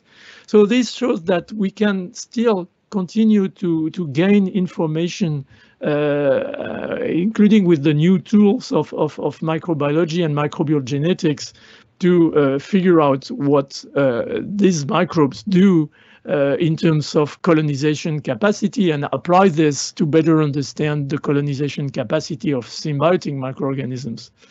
Just to go on with Shigella and, and tell you about this transition uh, with um, uh, Elena Arena, a postdoc from the US, and, and Joy uh, a brilliant engineer in uh, imaging at Institut Pasteur, they, they established a system of sort of machine learning uh, looking at uh, uh, sort of agnostic view of Shigella invasion in the colon of guinea pigs, which is a, a, good model to look at, at Shigella invasion. So what the, the computer was educated to do uh, was to basically spot the fluorescent uh, spots, uh, which are the, the, the GFP expressing Shigella, and and you know average all this information all along the gut. So it, it's really not just focusing on a, a few foci, and uh, in general, unfortunately, takes the ones that arrange you. But here it's it's totally agnostic. You don't intervene uh, in, in in the process, and and basically what we we could show uh, was that. Uh, Shigella had a, a, target that we we had not anticipated before, uh, which is the um, sorry, uh, which which is the intestinal crypt. Uh, and and what you see on the on the top of the slide is the progression of uh, these uh, microorganisms getting into and invading uh, the intestinal crypt. These are the, the, the, the, the brownish ones. The, the blue ones are the non-invasive uh, con control, which are kind of disappearing uh, within eight hours. So this basically showed us that the Shigella was, was actually uh, invading uh, the, uh, the, the crypt of of the colon, and and we basically confirmed this in human colonic explants, as you you can see, hopefully here, where the bacteria in green GFP essentially locate themselves into the crypt and proceed to further uh, deep uh, invasion of, of, of, of, these crypts as, as, as shown here uh, as this uh, movie uh, progresses. Okay, so basically that was the observation. So that took us to the crypts. And, and we thought that it might be an interesting area to, to study uh, because uh, the crypts are actually interesting organs uh, in the sense that they contain the stem cells, the cells that are essential for the renewal of the intestinal epithelium. So we, we started to look at intestinal and especially colonic crypt in mice and in humans and, and, and made it our sort of uh, uh, model of, of studying uh, symbiotic interactions between uh, microbiota and, and, and, the gut.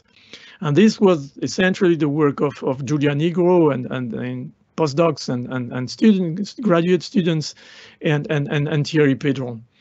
Uh, so what Thierry did was to show that there was a particular restricted microbiota living in the intestinal crypt, uh, which are essentially uh, strictly aerobic microorganisms like uh, Acinetobacter delphtia.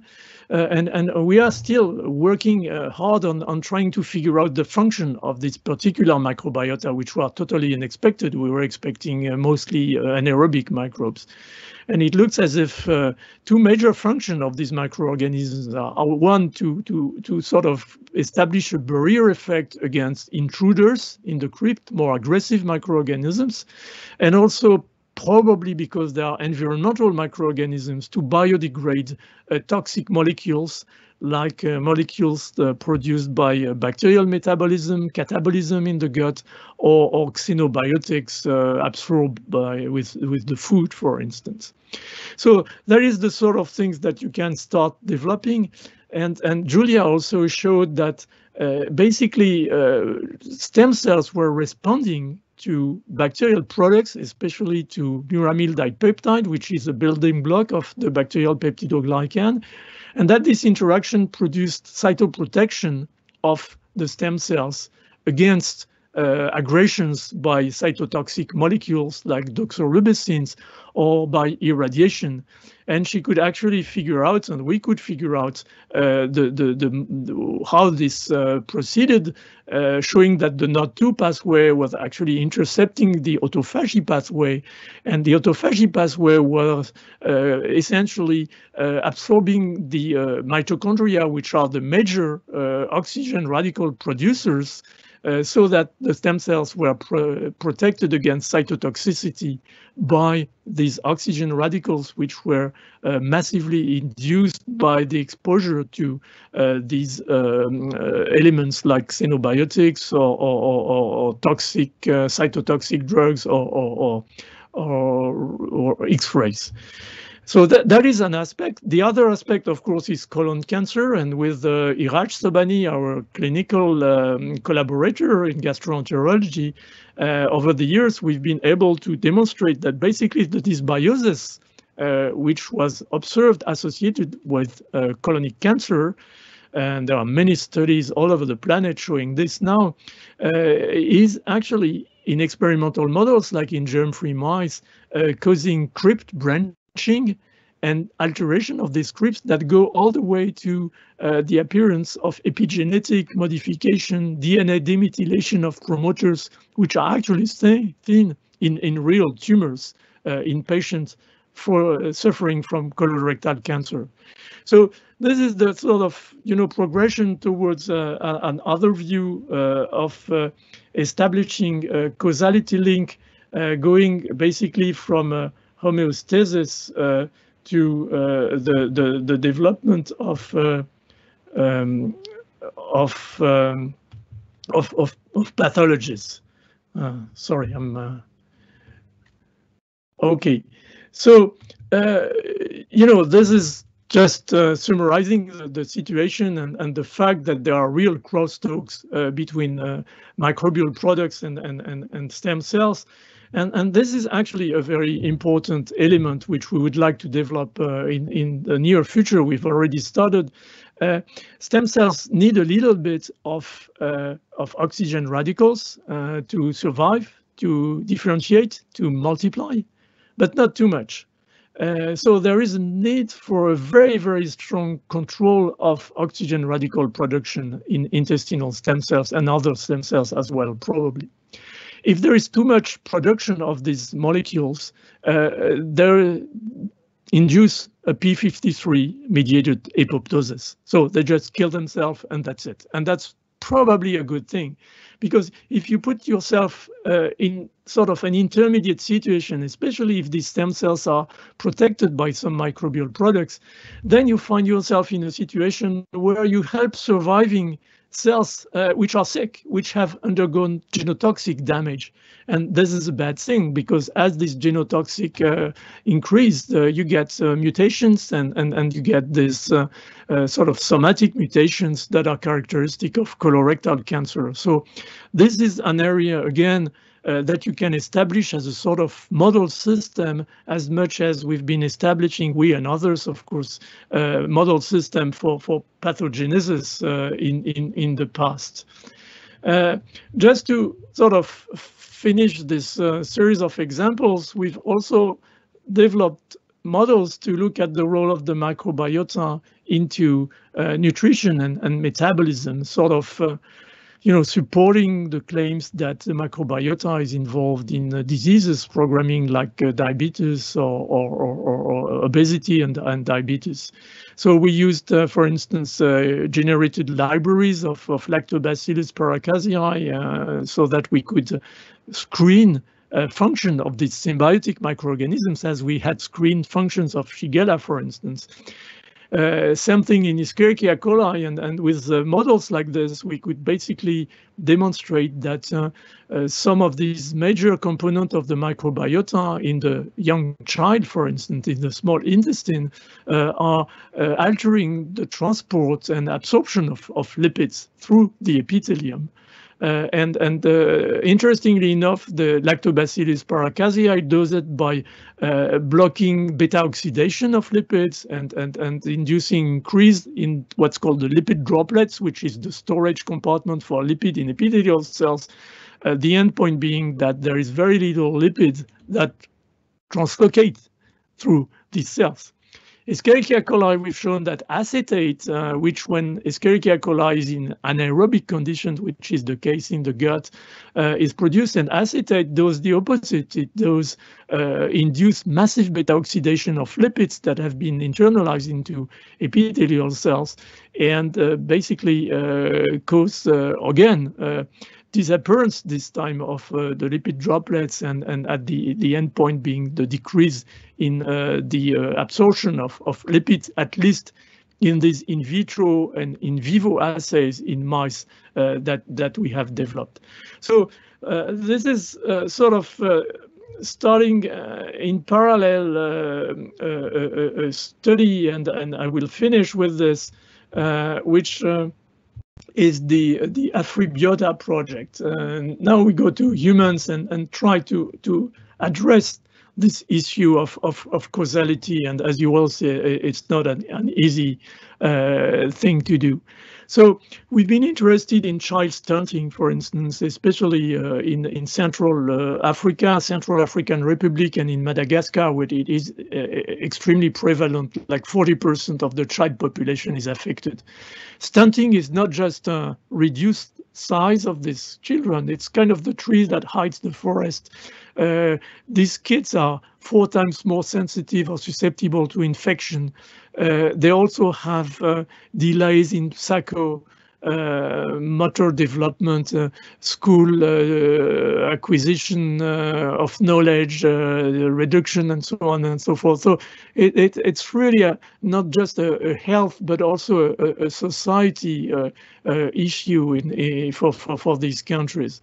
So we we tried to to figure out what was going on and. Uh, we had been discussing with colleagues, especially in the United States over the years, about this uh, famous uh, pediatric environmental enteropathy, uh, which is a, a, reduction of the size of the villi in the small intestine plus uh, a sort of chronic low-grade inflammation that is observed uh, whenever biopsies have has been made.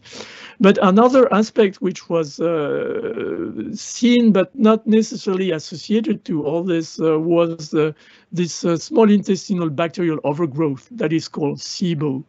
So the question is now, is the SIBO uh, causing anything uh, in this process?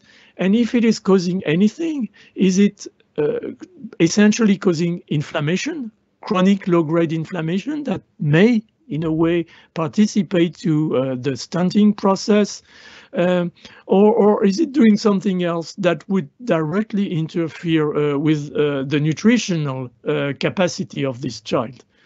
So uh, what we did was uh, in collaboration with two Institute Pasteur in, in, in, Central African Republic and Madagascar, we established cohort of kids, 1,000 kids, including the, the, the controls, and uh, we we had access to or developed access to to uh, duodenojejunal aspiration. uh, and, and proceeded to uh, the um, uh, analysis of, of these, these samples in, in malnourished, uh, extremely malnourished or average malnourished children.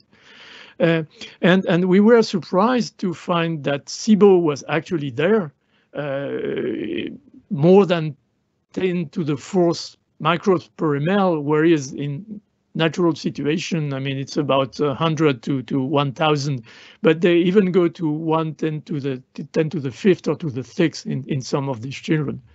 But more strikingly and interestingly, as I already alluded to, and this was the work uh, coordinated by Pascal Venesch, uh, a Swiss postdoc in the lab with all the collaborators in these two Institute Pasteur, what was amazing is that uh, these bacteria by uh, metataxonomics by 16S were essentially bacteria belonging to the oral cavity. Uh, we also observe a, a, decrease or deletion in microbes in taxa uh, producing butyrate uh, in, in, in, the fecal material, but the most uh, striking uh, observation uh, was, was really these, these microorganisms.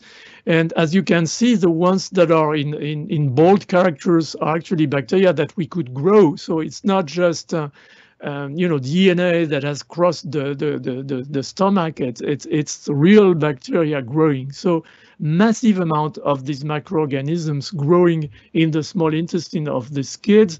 And, and we could actually find a signature in the feces with an increased representation of this taxa. So now we have a, a possible diagnostic tool uh, of, of, of stunting, at least seen under the angle of this dysbiosis. So is this dysbiosis actually causing uh, something in the nutritional status?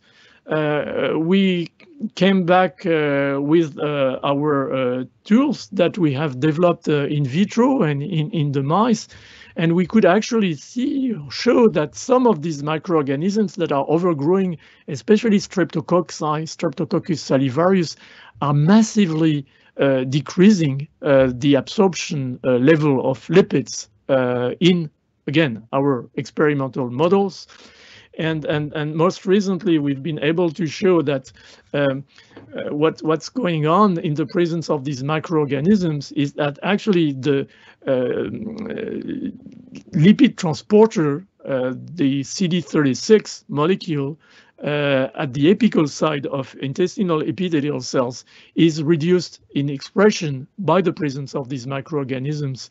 And this might be or hopefully is related to uh, the occurrence of this uh, uh, of this uh, malabsorption of, of, of lipids, uh, and especially in infants, of course, uh, the lipid um, diet is, is extremely important because the mother's milk is very rich uh, in, in, in lipids, and this is about 70% of the caloric ration which is received by the child is, is, is, is lipids.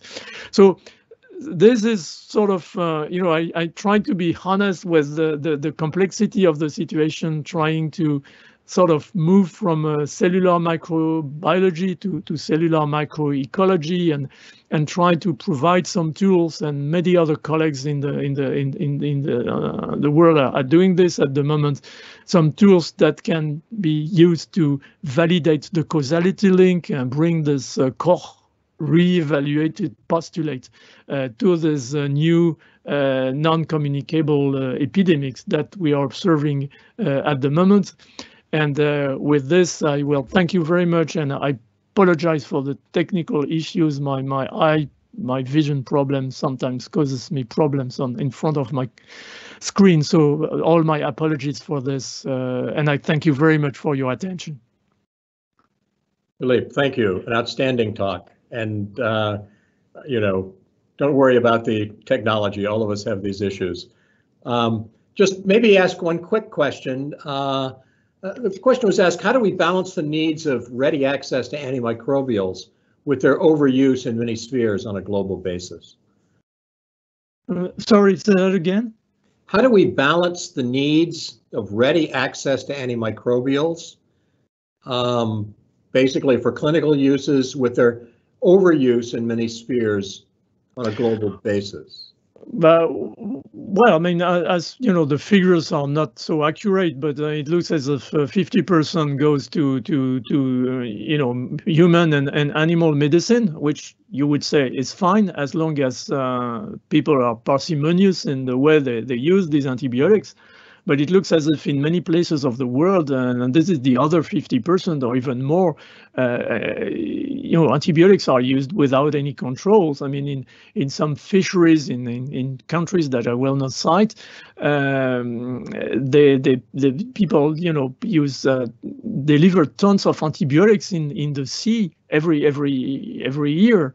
Uh, just to to increase the the the the, the, the meat production by salmon and and, and trouts. So uh, the you know the we were I mean, Andy was talking about some, you know, need to some, uh, how could I say, moralize the situation with regard to to to the uh, trade of of wild animals over the planet. I think we we have to moralize the the the, the use of antibiotics, and, and this has to be done because it's urgent. I mean, we are losing antibiotics at the moment. And uh, again, as I said, we, we really need to check also to which point this is altering the, the, the microbial diversity on the planet. There are, there are work starting uh, like uh, Tara Oceans, for instance, it's an international uh, mission to to to to look at uh, the, the the content of mesopelagic uh, levels in in ocean with regard to to microbial diversity. But I think we need to do more about this. Okay, thank you. I think at this point we actually are uh, out of time. Uh, my thanks to both of our excellent speakers today very much appreciate their taking the time to uh, to be with us. My thanks to everybody who participated in our Research Day activities today. Again, uh, I think it took me 10 to 15 minutes to figure out how to work all the virtual stuff this morning. Um, but, uh, you know, I think what came out, what ended up was a outstanding day. And uh, my thanks to everybody for participating. Um, and again, we will look forward to seeing you next year hopefully out of a virtual situation, but uh, nonetheless, I think things went well today and I thank you for your presence. Thanks everybody and have a good evening. Thank you.